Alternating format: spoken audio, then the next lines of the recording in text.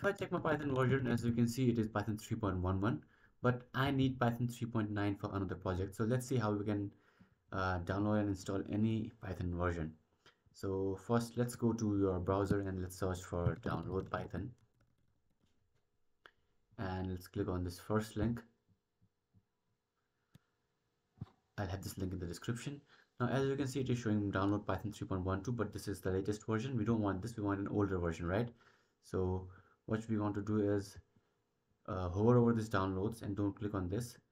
And from here choose your OS Windows or Mac or other platforms. So I'll choose Windows for now.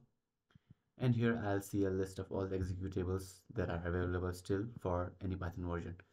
So if I go all the way back you'll see I am here at Python 3.7 and all this stuff.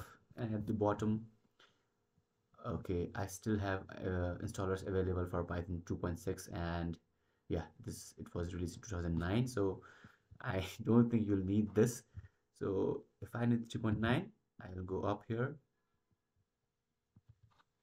And you can download anything you want any version you want but for me I want Python 3.9 right? So I'll go here and search for 3.9 and it is saying no files for this release so let me search for control F type 9 3.9 okay so I don't have any versions available for 1.4 3.9.4 okay so there are installers available for Python 3.9.13 but uh, practically 1.3 1.4 1.5 they are pretty, uh, practically the same. So you can download anything. Download the installer not the embedded package. So click on installer. And your python is now downloading. And since it is downloaded completing i'll click on open file and open it to install. And i'll just click on uh, add python 3.9 to path so that i can use python 3.9 directly from command line. And now click on install now. And python 3.9 is installing as you can see the setup is successful. Now I'll close this and press my Windows button and type Python. Now, as you can see Python 3.9 is available. Now I can click on this Python 3.9 to open Python uh, this modify repair and all this stuff.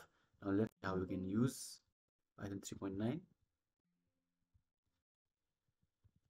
again press Windows and type IDLE now you'll see idle editor for Python 3.9 and 3.11 so I'll click on 3.9 that I just downloaded.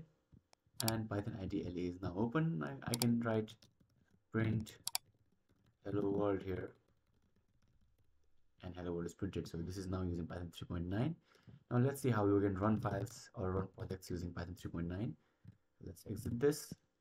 And press Windows again and type cmd now if I type Python version here now it is showing the one that I have just installed.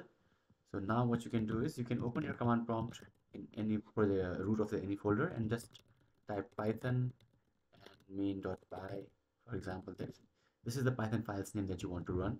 Right now I don't have a main.py but if I hit enter it will say can't open file because it does not exist. So if you want to run a file using python 3.9 you just do this. Python and your file name and you run it. If you have any questions let me know in the comments below